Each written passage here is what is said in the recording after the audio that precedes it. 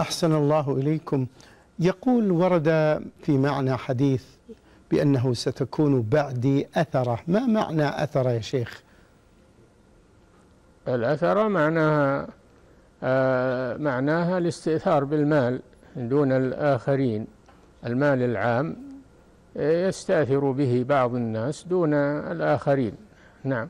فعلى المسلمين أن يصبروا أن يصبروا على ذلك. وتلزم ويلزم السمع والطاعة لولي الأمر ولا يلتفت إلى ما عنده من من الخطأ لأن لأن الخروج على ولي الأمر وما يترتب عليه من الأضرار أشد من الصبر عليه على ما عنده من النقص. نعم.